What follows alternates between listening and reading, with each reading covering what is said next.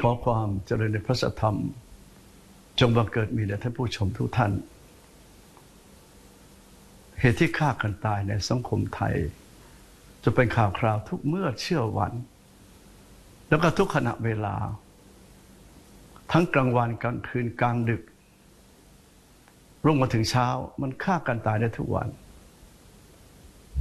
หนึ่งแย่งคนรักสองหักอกสามยกพวกตีกัน ขับรถผ่าสถาบันเดียวกันพอไม่ถูกกัน ก็ยกพวกมาตีกันข้างนอก ต่างสถาบันมันไส้ก็ยกพวกมาตีกันข้างนอก แล้วทุกคนก็มีมีดมีปืน เก่งๆกันทางนั้น แล้วเมื่อบาดเจ็บมีการล้มหายตายจากไป มันคุ้มไหมนะกับความเดือดร้อนของตัวเอง สังคมพ่อแม่ ต้องมานั่งน้ำตาไหลนอง นอนน้ำตาไหลนอง กองบนใบหู เก่งกันจังเลย เพลงเพลงหนึ่งเขาร้องเอาไว้เขาบอกฆ่าก็ตาย ไม่ฆ่าก็ตาย สัตว์ทั้งหลายไม่อยู่คำฟ้า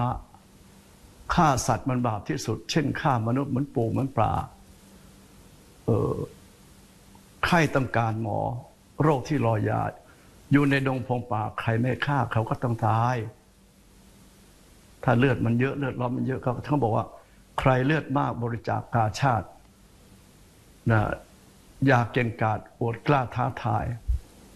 ไปเที่ยวยืนแอคให้พวกสียบอกเสียอกโลหิตมันหกเห็นและเสียดาย ตัวเราก็จะตายเสียดายกำลังของชาติ พวกญาติญาติก็จะน้ำตานอง แล้วเสียใจแล้วยังเสียชื่อสกุล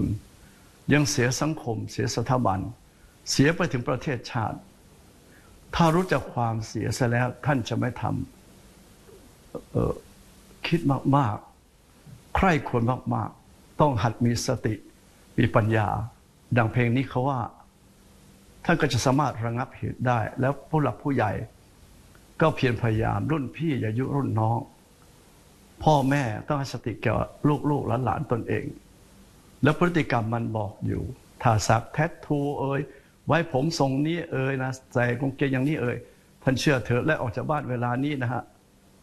แล้วไปดูผลการเรียนท่านรู้เลยว่า วันหนึ่งมันจะต้องเกิดเรื่อง แล้วตัวเขาก็ต้องตัวเขาต้องตาย เสียดายกำลังของชาติ เพื่อญาติญาติก็จะน้ำตาหนอง เพราะนั้นไม่อยากน้ำตาหนองทุกฝ่าย หยุดพฤติกรรมท่านเสีย นี่คือวิธีการแก้